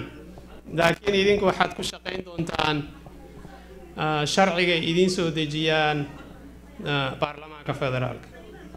Waxaan kaloo rabaa halkan inaan ka caddeeyo shacabka soomaaliyeed inay dowladdoodii la shaqeeyaan. Maamulka koonfur galbeedna waxaan leeyahay bulshada isku xir maxaa lahay si ay horumar u gaaraan. Waxaan kaloo fariintaydii sii raacsanayaa ah, mudane madaxweyne cabdicasiis xasan maxamed laftigaren soomaaliya dhibaatada ka jirta maanta waxay salka ku haysaa diin. Marka waxaan talo ahaan soo jeedin lahaa lixdii bilood ama saddexdii bilood in bulshada loo qabto mu'tamar. Mu'tamarkaasoo ay uga hadlayaan fahamka diinta si bulshadana wixii qalad ah iyo wixii sax ah ay u kala fahmaan. Marka taasna waxay ka caawin doontaa inay bulshada dhanka wanaagga ay wax u fahmaan. Marka shacabka koonfur galbeed dal iyo dibad meel walbo ay ku nool yihiin waxaan leeyahay la shaqeeya madaxdiina. Insha allah madaxdiidana daacaday u yihiin idin yihiin. Waxaan kaloo rabaa inaan meeshan mahad ballaaran ugu celiyo walaalahayga nooga soo kala safray steydyada kale. Haddaan mid iyo laba ka taabto waxaa ka mid ah maxamed amiin aw ibraahim aliyow magaciisa saas xeda saas iyo dhammaan cabdalla maxamuud fanax iyo dhammaan marti sharafta kala duwan oo meelaha nooga kala yimid waxaan leeyahay aada baa u mahadsantihiin sida qiimaha leh oo aada nooga timaadeen. Insha allah waxaan jecelnahay caawa meeshan inay wacdaro ka dhacdo. Waxaa kaloo inoo harsan khudbaddii uu soo jeedin doono walaalkeen idriis wakiilka koonfur galbeed. Insha allah ayaa la moogaane. Waxaa jiro waa ninkii odayga hadaaya hadlaya wuxuu yidhi beeraha soomaaliya way nagu filan yihiin. Marka anna waxaan sii raacsiisan lahaaba. Maalmahan waxaa yimid barnaamij la dhaho ayax cunis. Marka ayaxaas xataa waa nagu filan yahay haddaan u jeedsano beeraha keliya ma ah marka dhulku waa wada barwaaqo. Dadkii baa garan la say uga faa'iidaystaan. Marka waxaan dhihi lahaa madaxda maamul goboleedyada iyo madaxda federaalkaba. Waxaan dhihi lahaa bulshada ha loo jiheeyo dhanka wanaagsan hana laga faa'iidaysto faa'iidada uu dhulka leeyahay. Beeraha ha la maalgashto amniga ha laga shaqeeyo dalkeenna ha noqdo dal barwaaqo ah. Oo ay ku diirsadaan dhammaan shacabka koonfur galbeed iyo dhammaan shacabka soomaaliyeed. Meel walbo ay ka joogaan dal iyo dibad. Asalaamu calaykum waraxmat ullaahi wabarakaatu waa idin wada salaamay dhammaan eh, ka soo qaybgalayaasha barnaamijka marti sharafka eh, abaabulayaasha barnaamijka sida quruxda badan eh, u soo abaabulay. Eh, waa idin salaamaya dhammaantiin waxaan idinku salaamaya salaanta islaamka. Assalaamu calaykum waraxmat ullaahi wabarakaatu. Eh, bacda salaam eh, waxaynu isugu nimid waxa weeyaan eh, sanad guuradii koonfur galbeed soomaaliya. Eh, waxay inoo tahay eh, habeen dhashay oo kale. eh, soomaali guud ahaan gaar ahaana koonfur galbeed soomaaliya Eh, dhammaantiin waxaan leeyahay aad baan idinkaga mahad celinayaa imaatinka iyo soo ajiibitaanka eh, dadka inta badan meelo badan nooga kala yimid iyo dadka louvel maasha allah Eh, aad baan taas idinkaga mahad celinayaa Eh, sanad guuro wacan ayaan leeyahay eh, koonfur galbeed soomaaliya Eh, gaar ahaan madaxweynaha koonfur galbeed soomaaliya cabdicasiis xasan maxamed laftagareen. Eh, waxaan leeyahay ilaahay ha kaa dhigo kii dalkiisa iyo diintiisa iyo mataqaanaayo dadkiisaba anfaca sida odayaasha dardaaran fara badan hore u jeediyeen iyo sida loo sheegay Eh, koonfur galbeed hadaay waxaa laga dhawaajiyey oo odayaashii soo maray ay yiraahdeen laba shay bisay u baahan tahay sida cadaalad iyo mataqaanaayo eh, iyo amni. Waxaan ku dari lahaa ani sidoo kale in dadka mataqaanaayo eh, waddada inta loo furo eh, dhaqaalaha yaalo koonfur galbeed. Baydhabo waxaa la dhihi jiray waagii hore baydhabo jannaay baa la dhihi jiray. Jannada meel walbay taallay marka waxaan rabnaa baydhabo jannadii ay ahayd inaad ku soo celisid waddooyinka u furtid marka insha allahu dowladda dhexena waxaan kula dardaarmayaa si loo helo yacni hadda waxaad moodaa xoogo eh, shacabka soomaaliyeed waxaan rabaa guud ahaan inaan baaq yar u jeediyo kuwa koonfur galbeedna inaan baaq gaara aan u jeediyo. Insha allahu waxaan inta laakiin ka hormarin lahaa safiirka cusub eh, dhihina qunsulka koonfur galbeed soomaaliya u fadhiya eh, louvel eh, america u fadhiya gaar ahaan Eh, aad baan u soo dhaweynaynaa xafiiskiisii isagana wuxuu eh, sanad guuradiibuu ku soo aaday. Aad idris sheekh eh, ma- mataqaana aad baan u soo dhaweynaynaa waan ku faraxsannahay in mar kale asagoo markii hore waa jaaliyad wax u ahaa koonfur galbeed in mar kale haddana loogu celiyo. Maasha allah aad baan u soo dhaweynaynaa Eh, inaad mar usacbisaan waan jeclaan lahaa. Maasha allah. Eh, marka waxaan rabaa wax yar marka inaan u jeediyo eh, cabdicasiis maxamed laftigaran sida loo sheegay eh, waa nin maasha allah eh, afgaaban waa nin deeqsi ah waa nin wax garad ah waa nin marka waxaan keliya rabaa in ummadda uu isku wado uu ka shaqeeyo midnimadooda horumarkooda waddada inuu isku furo taas waxaan leeyahay si gaara ayaan koonfur galbeed ula dardaarmaya madaxweynaheeda. Dowladda dhexan waxaan rabaa inaan kula dardaarmo ayaguna hal dardaaran inaan ujeediyo maamul ummadda horta waxay ku fiican tahay sideeda maamulada inay is adeecsan yihiin.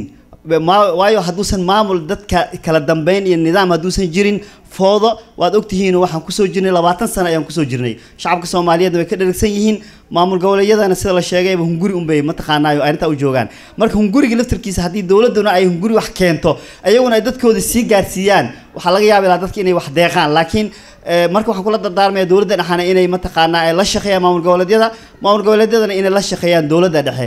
Innaguna saasaan hadda sidaynu ognahay maanta wadan waddamada aynu joogno maraykanka oo kale wuu ka jiraa maamul goboleed wuu ka jiraa marka waxba xitaa eh, calanka ayaa la dhalisanin wax weeyaan. Eh, sida louvel oo kale waa governor waa mataqaanaa waa maamul goboleed bay ka mid tahay. Yacni waa nidaam eh, yacni eh, la sameeye weeyaan. Marka xitaa nidaamka haddii la sameeyo waxyaalo waxaa jiro statekan xaq uu leeyahay dowladda dhexena eh, dowladda weyn ay xaq u leedahay.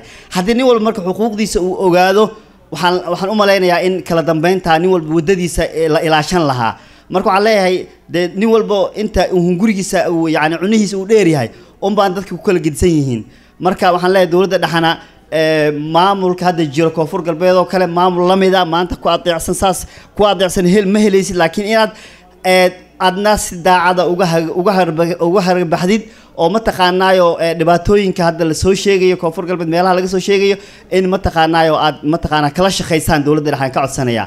Shacabka soomaaliyeed guud ahaan waxaan ka codsanayaa in mataqaanaayo dowladda dhexe inay la shaqeeyaan inay mataqaanaayo dowladda yacni dadka ayaa wax ka bedeli kara dadka ayaa wax ka bedeli kara. Haddii dowladda dadka ay la shaqeeyaan maamul goboleedyadana dadka shacabka unbay u hoggaansan yihiin. Shacabka haddii ay dhahaan waxaas ma rabna hadday dhahaan way soconayaan. Haddii waa rabnaa ay yidhahdeen waa socon. Marka waxa nin walba meesha lagu hayo waxa ku hayo wax wey shacabka weeyaan shacabka waxaan rabnaa inay soo doortaan maamul goboleed iyo dowlad isla shaqeyn karo sida adduunyada horumarka ay u gaartay in iyaguna anaguna aan u gaarno. Haddii kale waxay noqonaysaa jugjug meeshaada joog ay noqonaysaa. Waxna ma ka soo naas cadaanayaan marka waxaan rabnaa in lasla wada shaqeeyo shacabka guud ahaan saasaan ugu baaqayaa. Koonfur galbeed waxaan si gooniya ugu baaqayaa. Dadku markay isla shaqeeyaan shacabka iyo dowladda iyo madaxda isla shaqeeyaan ayaa horumar la gaaraa. Shacabkiina madaxdiina la shaqeeya ee, ummaddiina la shaqeeya ee, mataqaanaa waxaan leenahay marka ummadda iyo shacabkaba iyo mataqaanaa iyo madaxda markay dadku isku tiirsan yihiin oo midnimo iyo ay muujiyaan ummaddan hadda meesha aynu joogno waad ogtihiin ayadoo maamul uu jiro maamul goboleed uu jiro wax walba jiro haddana nin walba waddadiisu haystaa waa la kala dambeeyaa. Yacni si nidaam ah kala dambeyn ah yacni sida for example oo kale aan ka soo qaadano maraykanka oo kale waanu joognaa. Marka laakiin taasaa waxay u baahan tahay ficil inta laga dhigo oo dadkii loo gudbiyo dadka shacabkan ay maamulka markaa gaarsiiyaan. Marka insha allah intaasaan ku soo koobayaa ee, aad baan idin salaamaya asalaamu calaykum waraxmatullahi wabarakaatu Eh, runtii farxada in ata inaan oo ka eh, qayb kunagada eh, qaybo shal duwan walaalo oo ku shalkooy magaalooyin shal duwan oo isteedyada ama magaalooyinka maraykanka ka mid ah. Eh, run ahaantii mayba isiyaase dhiirigelin qaase shakhsiyan ah runtii walaalkay idris oo ah wakiilka eh, madaxweynaha maamulka koonfur galbeed ee soomaaliya north america iyo canadaba Eh, runtii hadallada usmeelanka ere ama hakajeedii may ku mid haytay midnimada united ama midnimada macnaha wali waa waa cudud xoog badan oo aad ka dagaalamo korto laakiin marka divided etaada laka shaqeebi oo laka dila oo meel eraay ko walaalka ee kan kala hadla hadala anina lanka kala walaalkaysi kalan araga taas micnisha may beeta markan awoodinus qaamas. Lanka oday ee hadda kahor may leeray owlaadahan kuriyahan u dhali. Lanka kuray markiisu dhalano dareemo kortan marka lanka kuray dhala may faday kuraytis markaasna midnimadii wada jirjo marka maalin maalmo ka mid ah intuusan dhimanaya meeray macnaha lankas haliinto ula haqaadoy haliinti ula la haqaadi ki kastaba si fudsa ka jibi. Marka damba meeray lankas iyado hirmay haqobday hadan hirmidii way jibiyo waay marka taas it means may ba midnimada iyo wadajirka qiimada iyo ahamiyadda yeelata marka aanagoo ku duulow wakiilka hadal jeo ee midnimada waa ahmu shay waay. Waa arrin eed on fail waay oo runtii dhiirigelin mudan. Anaka shaksiyan raalahaada i have this camera. Weri ahaa cameradan haysan wala ana dadka inka heli karo oo keliya may beetaan Ah, ina aan an isticmaala cameradan positive way. Dhinaga fayla inaan un gudbi bulshada aan ha ku dhaladay ha ku jeeda walyaabo qiimo badan oo isla markaasna laabti on dhaqaajiyaana laakiin ina sheeno isla markaasna macnaha hilow iyo may dheeraayus maxaba iyo kalkaceel dhatiyo ka abuuras. Marka eh, runtii dadamay yaraayana shariif hasan oo sheegeen markii madaxweynaha hay hanuunga seefta galka ka basanaaytay laakiin lafta garan markii la dooray aamusti marka shariifka lan walaalkana digile marflo maamulka hadda jara laantis ma jara lahayn. Waa lanki meelaha deersi waayo. Oo geeka macnaha fursadan si ini madaxtooyadii koonfur galbeed maamulka hadda jara ka shaqeey amaanga noo ixtiraama noo waa oday koonfur galbeede aflagaadi iyo caytoona ma noo mudan may balana shariifow jazaaka allah kheer meel fayle koonfur galbeed jt geekana haddana meel email ku sii fayle macnaha hiigsadaas marka may rajeeyay dhammaan walaalo digil imirafle gaar ahaan koonfur galbeed ee soomaali dhalinyartiyo gaar ahaan haa wala barden please an u surugnay inuuna dadkaasi walan qobana. Majeeli reer hadalna mi hanuga qoraalka kafay lahaa. Marka warkayna saasaa ku koobay. Asalaamu calaykum waraxmatullahi wabarakaatu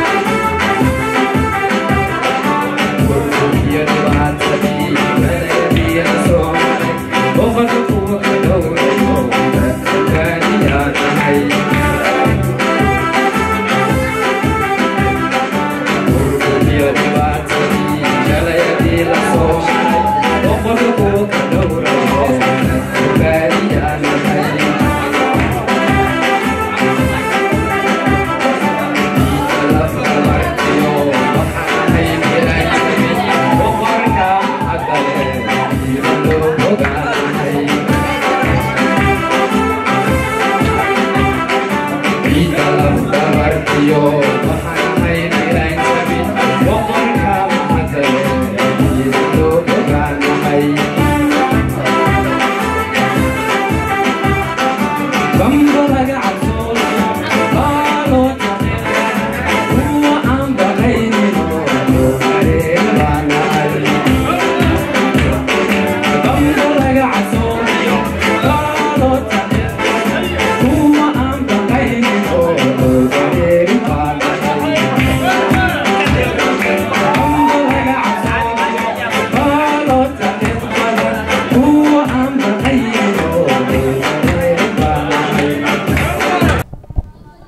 asalaamu calaykum waraxmat ullaahi tacaala wabarakaatuhu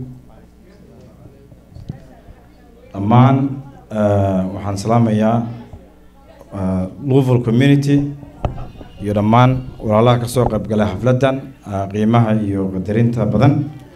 Waxaan sidoo kale u mahadnaqayaa dhammaan marti sharafta walaalaha nooga kala yimid gobollada gobollada dalka Ah, dhammaantiin waa salaamantihiin soo dhawaada idin leeyahay. Ah, soo dhaweyn kadib waxaan idinka raaligelinayaa xafladdan oo aan ku baaqnay in ay bilaabato six o'clock today. Laakiin codsiyo badan oo ka yimid qeybo kala duwan ee community-ga ee ay dalbanayeen in dib looga dhigo. Saacadba saacaddii ka dambeysay ayaa halkan ku soo gaartay marka waa idinka raal waa idinka raaligelinayaa dhammaantiina waa mahadsantihiin ah, soo dhawaada Ah, midda kale waxaan rabaa inaan u mahadnaqo dhammaan qabanqaabiyaasha xafladdan ah, ka soo shaqeey ka soo shaqeeyey hooyooyinka gabdhaha wiilasha oo waqti badan geliyey ah, in ay noo suurtowdo xafladdan muddona ka soo shaqeynayeen dhammaantiina waa mahadsantihiin Ah, soo dhawaada idin leeyahay. Soo dhaweyn kadib waxaan u mahadnaqayaa ah, walaalkay ah, mukhtaar axmed oo ka hadlay qeyb ka mid ah ah, taariikhdeeda oo kooban iyo wada shaqeyn ah, muddo dheer ah, nasoo ah, nasoo dhexmartay ka soo waxyaaba badan aan ka soo wada shaqeynay. Marka intaa kale ah, intaa keli ma ahan ah, waxaan u maleynayaa magaaladan ah, magaaladeena waaye louisville. Ah, waxaan ugu wacnaa annaga inay tahay eh, eh, homekeeni labaad. Eh, mararka qaarna soo dhaweynta aan ka helnay eh, mid shakhsiyaad iyo mid guud ahaan eh, community-ga soomaaliyeed. Intaba waxay ahayd magaalo aada u qiimo badan Eh, mas'uuliyiinta iyo madaxda degan waxaan kala kulnanay soo dhaweyn waxaana ka helnay fursad aada u qiimo badan oo aan kula tartami karno ah, dadka muwaadiniinta waddankan degan marka dhammaan ah, way mahadsan yihiin ah, madaxda gobolkan heer state iyo ilaa iyo heer federaal waan ugu mahad celinaynaa inaan fursado badan aan ka helno. Intaas markaan ugu gudbo annaga waddankeenii soomaaliya qeyb wejiyo badan oo soo maray eh, sanadihii la soo dhaafay laakiin alxamdulilah maanta waxaan leenahay eh, dowlad rasmi ah ee caalamka uu aqoonsan yahay iyo eh, fe- federal state.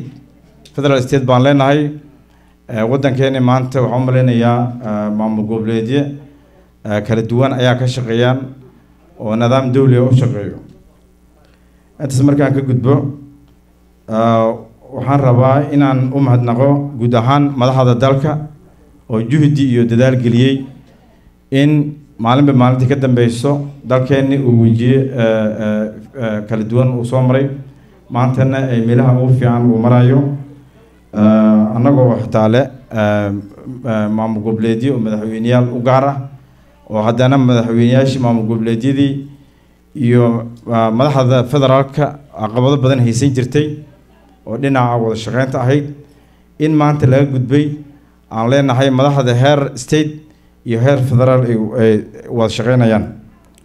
Intaa kadib waxaan rabaa ah, inaan ah, u mahadnaqo ah, madaxweynaha ah, madaxweynaha maamul goboleedka koonfur galbeed mudane cabdicasiis xasan maxamed laftigareen oo iisoo magacaabay xilkan maanta halkan aan u joogno oo ah ah, sanad guuridiisii koowaad iyo furitaankii ah, xafiiska wakiilka koonfur galbeed ah, wakiilka oo aniga la iisoo magacaabay baan maanta halkan isugu imaanay. Marka ah, xilkaas oo ah xil aada u culus oon u baahan yahay in loo guto si dastuuri ah.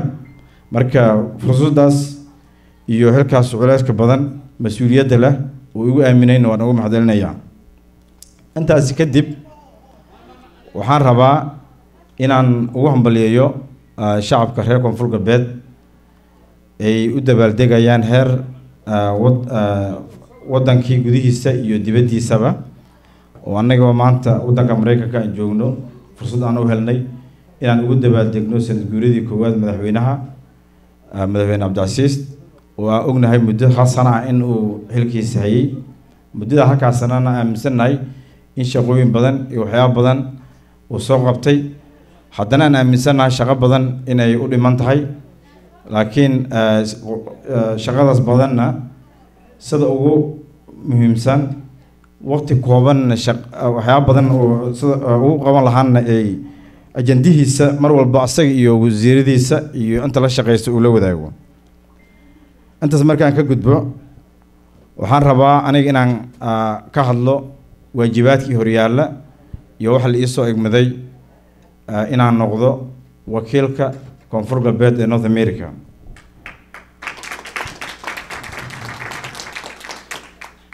Waxaan rabaa inaan ah, idiin sheego miyihii qofkii ugu aqoon badnaa ugu karti badnaa oo loo soo magacaabi lahaa ah, maamulka wakiilka u fadhiya koonfur galbeed laakiin waxaan ahay shaksi calaf u helay in uu noqdo wakiilka koonfur galbeed ee north america waan ugu mahadnaqayaa madaxweynaha iyo intii kala soo ah, shaqaysay in xilkaas ah, la iisoo magacaabo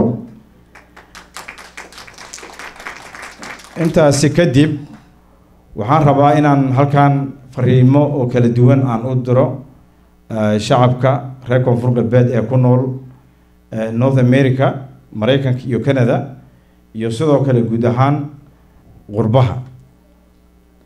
Fariinteeda oo ah maanta in aada haysataan madaxweyne shacabkiisa jecel dadkiisa dhegaysta wax allaale wixii tale iyo tusaale ah loo jeediyna u dhega nugul inay haysataan. Markuu arkay baahida jirto iyo wada shaqeyn la'aantii ka dhexaysay shacabka ama qurba joogta reer koonfur galbeed iyo maamulkii asaga ka horreeyey iyo maamuladii soo maray dalkaba in aysan ka jirin ayuu wuxuu u arkay in ay muhiim tahay in uu u magacaabo wakiil ka shaqeyn kara isku xirka jaaliyadda iyo midnimadeeda iyo wada shaqeyn dhexmarta jaaliyadda iyo maamulka. Marka madaxweyneha arrintaas arrin muhiim buu u arkay. Rag badan oo arrimaha siyaasadda iyo arrimaha dibadda ah, kala shaqeynayeenna way kula taliyeen. Ah, shacab badan oo reer koonfur galbeed ahna dhaliishaas mar walba way qabeen oo ay dhahayeen ma hayno maamul iyo jaaliyad wada shaqeeya. Marka asagoo ka jawaabayo baahida iyo cabashada shacabka ayaa wuxuu u arkay in wakiil u magacaado north america kaasoo uu u arkay ah, inaan ahay shaksi shaqadaas gudin karo ayaa la ii magacaabay. Waan ugu mahad celinayaa asaga iyo intii eh, igu soo dhaweysay markii la magacaabay xilkan. Ilaa saacaddan ila taagan. Waa mahadsantiin dhammaanteen intaasi kadib ah, waxaan rabaa inaan halkan u xaqiijiyo ah, ajandaheyda ama qorshahani aan wato oo ku aadan shaqadeeda muddadii la isoo magacaabay dhexdan waxaan shaqooyin kalean haystay waxyaabo kale aan ka shaqeynayay marka transitional baan ku jiray. Laakiin xafladdan sababta aan iskugu darnay waxay tahay in aan isku darno sanad guuridii madaxweynaha oo ku soo aaday iyo furitaanka xafiiska wakiilka koonfur galbeed. Fursad baan u helnay iyo waxay noqotay xilligii ugu habbooneed oo shaqadii aan bilaabi lahaa. Marka iyadoo haddeertan i hortaalo shaqo badan. Ayaa waxaan rabaa inaan u xaqiijiyo shacabka reer koonfur galbeed eh, ajandaheedii iyo qorshaha aan ka leeyahay iyo waxaan wato. Number one horta waxaan rabaa inaan u xaqiijiyo walaalaha reer koonfur galbeed meel kastoo ay joogaan maraykanka iyo canada.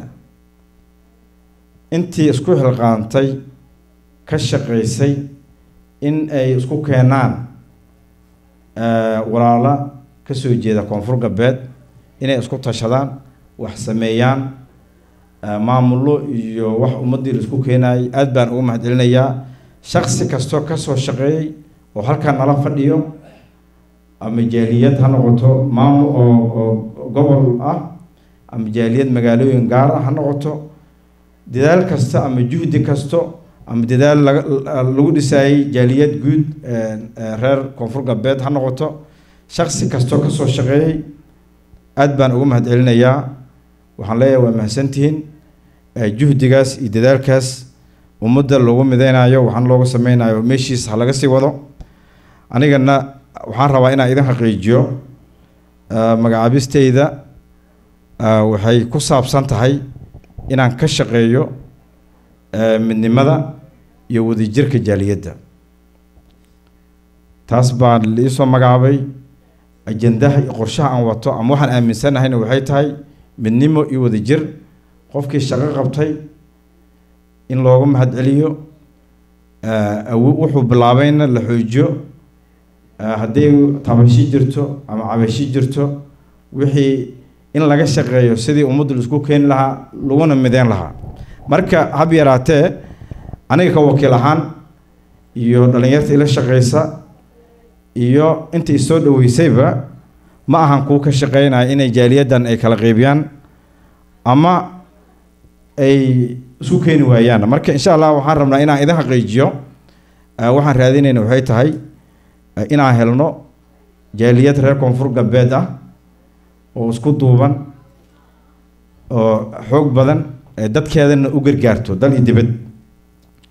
Meeshan laga saaro cabashadii ahayd in eh, maamullo eh, maam- maamulka iyo jaaliyad inaysan wada shaqeyneynin marka anigana eh, wixii fariin ah ama la rabo in loo diro lagala hadlo wax kasta oo looga baahdo maamulka koonfur galbeed waxaan halkan u joogaa idin xaqiijinayaa in adeegaas ama communication oo fudud inaan halkan idinku qabtaan diyaar u ahay idinkalana shaqeeyo sidii lagu xoojin lahaa loona heli lahaa jaaliyad eh, reer koonfur galbeed ah oo loo dhan yahay laguna midaysan yahay. Marka taas baa hadafkeeda ah ayadoonan eh, ayadoo laga qaybgelinaya qof walbo maalintii la soo magacaabay kadib eh, awal waxaan u malaynayaa waxyaaba badan arrimaha qofiska activistina waa ahaayo. Waxyaaba badanna waa waa sameynayay arrimaha siyaasadda soomaaliya in badan baan ka hadli jiray. Laakiin markii la soo magacaabay dhexdan aad baan uga gaabsaday.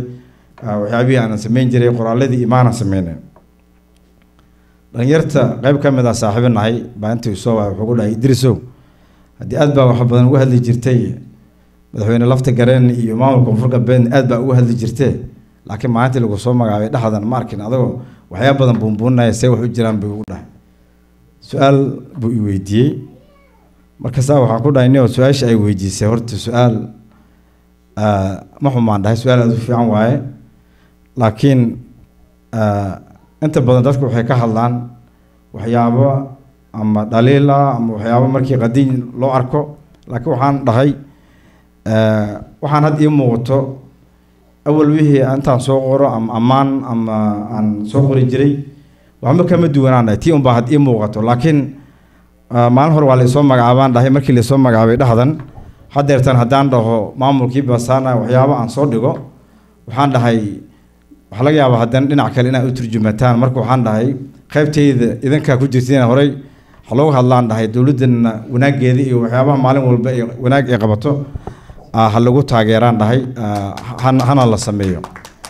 Marka intaas ah, baan kula taliyey. Marka laakiin waxaan u ballan qaaday ah, saaxiibkay iyo walaalo badan oo sidaas oo kale su'aaleen i weydiiyeen in isku diyaarina inaan shaqadii xilkii la isoo magacaabay shaqadiis inaan bilaabo markaan shaqadaas bilaabana waxaan u sheegay inaan soo bandhigi doono waxqabadkeeda iyo maalin walba wixii iisoo qabsoomay marka reer koonfur galbeed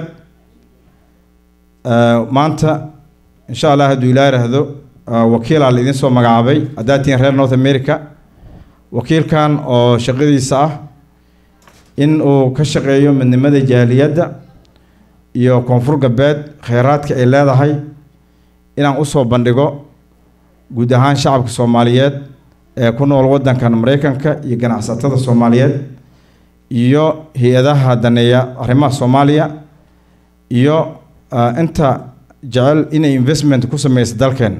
Koonfur galbeed waxay ka mid tahay meelaha ugu kheyraadka badan fursad badan oo ganacsiga ka jiro waxay leedahay dekado oo haddeetan laga shaqeynaya in la dhiso meelo badanoo dekadooyin badan laga sameyn karo. Marka waxay ka mid tahay maamul maamul goboleedyada ugu kheyraadka badan. Fursado fursadaheedana aanba la taaban. Marka waxaan rabaa in fursadahaas deegaamadeennii ay ka jiraan inaan soo bandhigno dowladda maraykankan aan u soo bandhigno dowladda canada u soo bandhigno dhammaan ganacsatada soomaalida iyo ajnabidaba inaan u soo bandhigno aan u fududeyno shaksi kastoo daneynaya koonfur galbeed inuu tago ganacsin uu ka sameeyo. Isagoonan baydhabo tegin wax allaale wuxuu rabay halkan baan ugu fududeynaynaa halkaanaan u sameynaynaa marka taas baan rabnaa inaan idin xaqiijino hadduu laa iraado yaanan laga daym darnaanin fursaddaas waqtiga waa kooban yahay fursadda maalin walba ma jiri doonto. Marka inta hadda fursaddan jirto aanan weli la taabanin fursadda koonfur galbeed ee maalgashigeeda ah fadlan ha laga faa'iidaysto insha allah intaasi kadib waxaan u maleynayaa aniga haddee afmaamaya markan ola dhaman ka dhamaystiraday raalaadaya.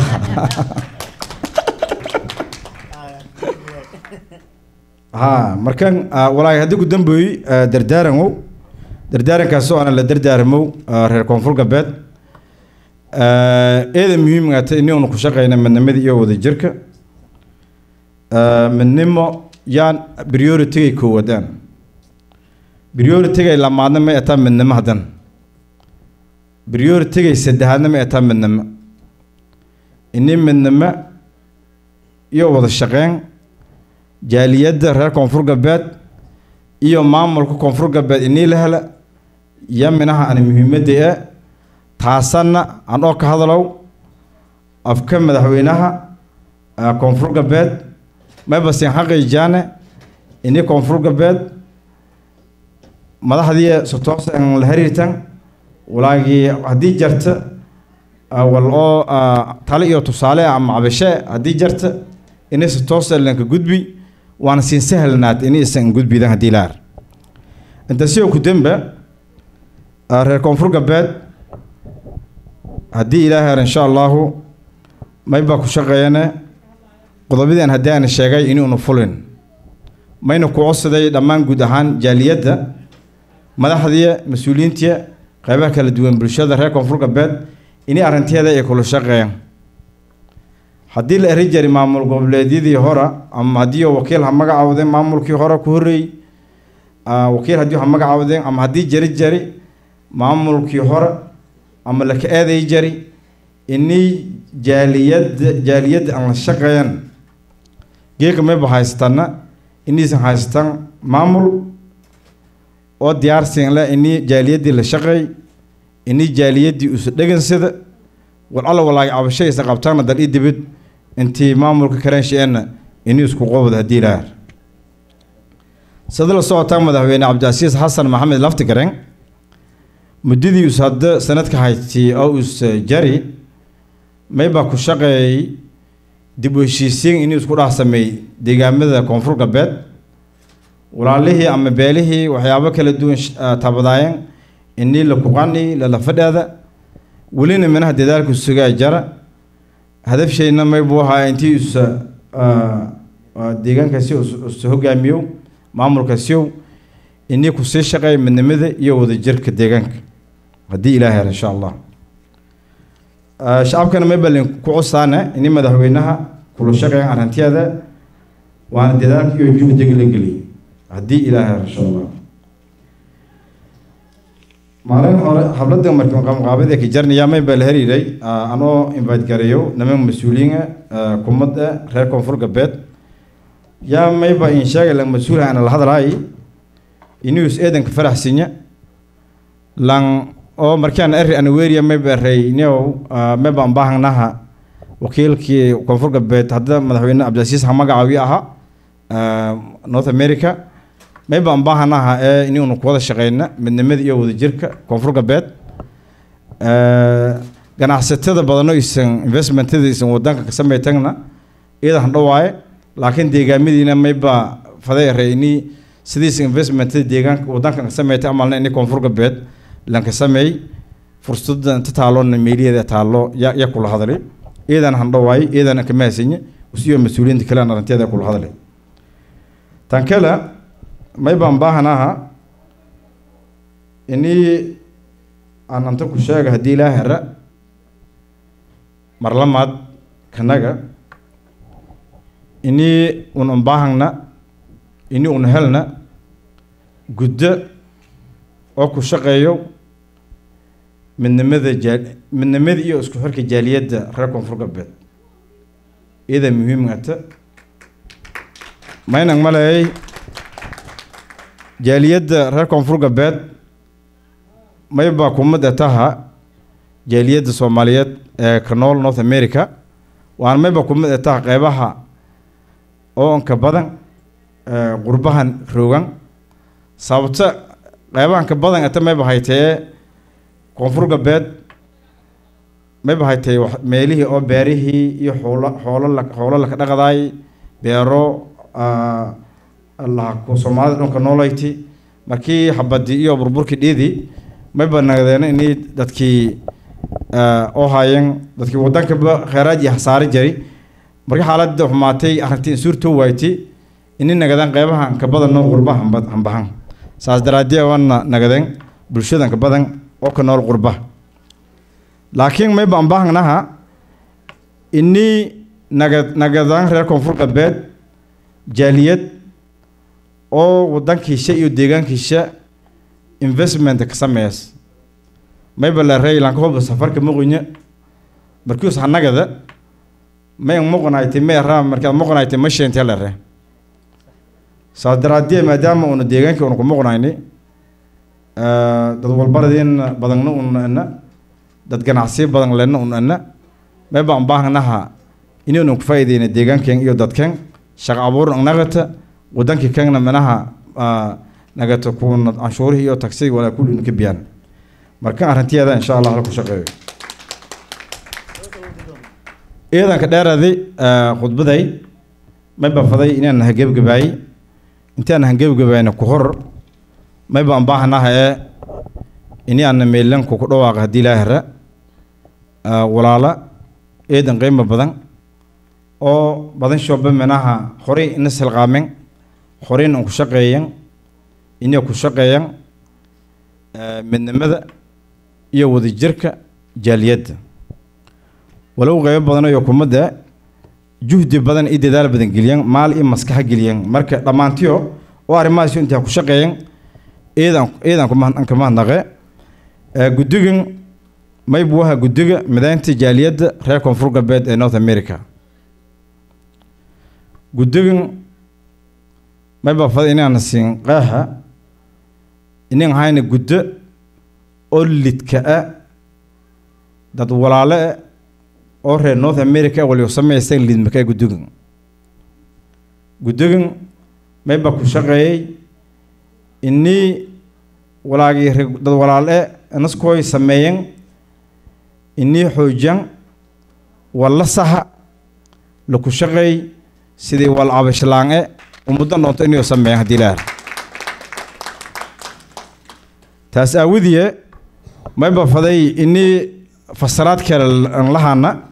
Walaalahana waxyaabo kale dadka qaara manaha. Mayba la rey sida walan jaran ama sidii walan arre walan in sheegana laakiin mayba fadaana inii oo turjumaadka lankubiin cid alla idii guddigan aan kumad haynana oo fadaas ini kumad nagatoonna inii guddiga hala hariirta waana nagada doona guddo oo oben e cid kasta oo baahan iniyo dadshe midayta volunteerna ka shaqayta ini laha ka dhawaayo haddii ilaahay rabaan iyada iyadan ku mahadnaqaan lan allan samey guddigan maybu ah guddiga midaynta jaaliyadda koon- koonfur galbeed haddana mayba ku koobin yahay ee guddo oo toban shan qof ew. Laakiin micnaasha mee ini liistigan hadda laka dhawaaqi lay haada doon. Haddii ilaa hera liistigan mihirnaada doon haddii ilaa hera guddo maybuwa furan qof kasta oo dadshay isbeddel la fadow isbeddelkaas oo dhibaato insheenanna midnimo horumar leh. Daneeyown inuu iskuma nagdoona walha ka dhawaaya haddii guddigan mayn sameeyahay inii ini ini nagada ku oo muddo shalqiibiyow ama caqabad ka nagadow walaay horaanan sameey horaanan eri haddana ka nagi walaanan ka rahayna walaanan ka nagahayna micnin ka nagahay mayba faday ini dhammaan walaalahay ogaadan tangeeda. Guddigan maybu aha guddo oo idin jilacsan lan walbana dhegeysadow talada iyo tusaale wal al walaagii qof reer koonfur galbeed uusan jeediyoona dhegeysado doono nagada doon haddii ilaahar guddiga mayba faday inaan ka dhawaaqa markan guddigan oo ku kooban tumay shanta qof. Guddigan haddii ilaahar insha allaahu oo ku shaqeeyo midaynta jaaliyadda koonfur galbeed haddii ilaahay ara aan oo wakiilka koonfur galbeeda yana ku shaqeey doon haddii ilaahay ara sidii usa kanagada lahay successful aan oo kaaladow dhammaan inta ku kooban inta ku kooban yihiin manaha guddigan leerka raalaada guddigan haddii ilaahay ara mayba ku shaqeeyey inii laha afjara cabasho kasta ku dhex jirta jaaliyadda dhatiya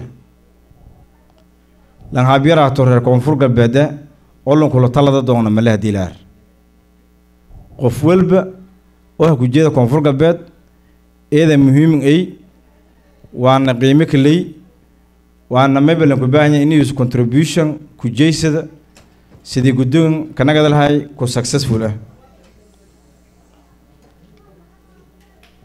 Guddigan oo ku kooban tuma shanta qof oo anna oo wakiilkeenna kumad aha waana liidgaray doona haddii ilaa hera yamay faday magayaasha inaan ka dhawaaq haddii ilaa hera waana basi ku cusday iniisa ha dhawaaytan waana la shagaytan haddii ilaa hera qofka lamaad maybu waa walaalkay maxamed aamiin oo guddiga kumadda rajeeyow ininay kula shaqay doon. Markan hal ha dhawaa insha allah walaalkay maxamed aamiin sidoo kale maxamed aamiin waa waa ko maasha allah sidoo kale mayba ku mid ah guddigan walaalkaana cabdi ugaari. Insha allah hal ha dhawaa insha allah Eh, guddigan walaalaha qaybna minaha danil rogan qaybna ku muqinyin. Marka insha allah haddii ilaah lan walba ba ha dhawaayan oo kale kumad aha walaalaan haawo jimcaala oo yaan haddantan rogn marka reed insha allah kulushoba ha dhawaayan haddii ilaah insha allah sidoo kale guddiga maybane kulamad aha walaalkaan ibraahim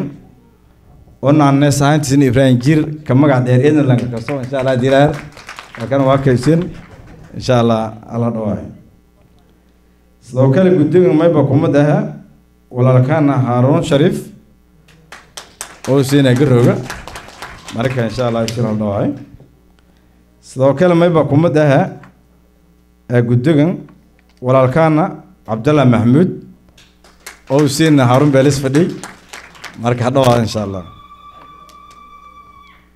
sidoo kale guddiga mayba kumad aha walaalkaana cabdikariin wariir oo uu siina tan roogna laakiin insha allah guddiga kumad iyo siin.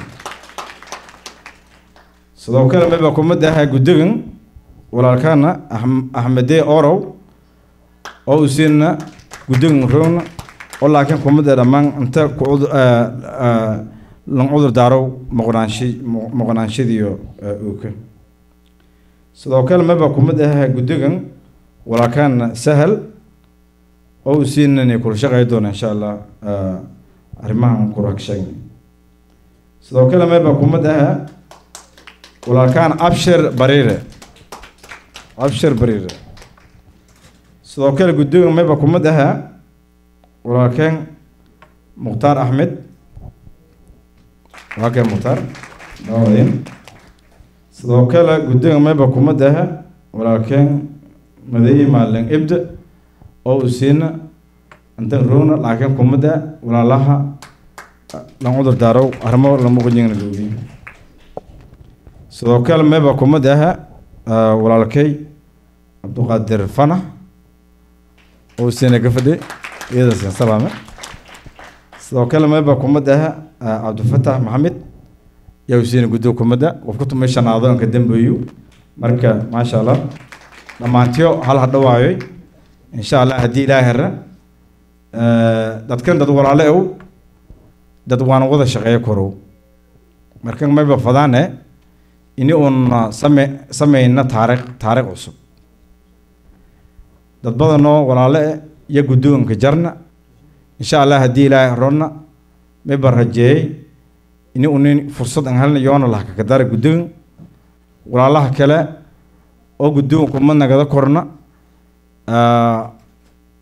arrimooyin ngaarada aawidiye yoona mayba ku cusaan inay nila shaqeyn haddii ilaahay guddoonana la shaqeeyo marka iyadaan mahadsantin mar lamaad dhammaan walaalihii gobollada kala duwanin ku kooyan oo un badan reer koonfur galbeed iyadaan mahadsantin waan hasan dhawaayana magaaladan louisville magaalo dadshe eedan isjeelo soo dhoweyntan eedanka fayl soomaali meelan manshal moqon xafladana mayba ambiinay xafladii reer koonfur galbeed sanad guuridii madaxweynaha iyo furitaanka xafiiska wakiilka koonfur galbeed erne waana soomaali magaaladan mahashal herna wal wada kooyo taas micnaasha mee taa magaalada louisville inay ata magaalo idlanka soomaali jeeli aabiyaalkii hooyooyinkii louisville iyo wada kooyan marka dhammaantiyo eedan mahadsanyin waana sinku mahadnaqaana insha allah haddii ilaahira wata badan ka qaadadi sinku iyada sinku raaligeliye marka waan hadhawaada insha allah asalaamu calaykum